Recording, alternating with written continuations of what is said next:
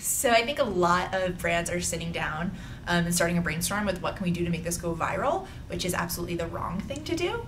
I think starting with what's the end goal. Um, you know, do you want to drive sales? Do you want um, you know your brand equity to increase?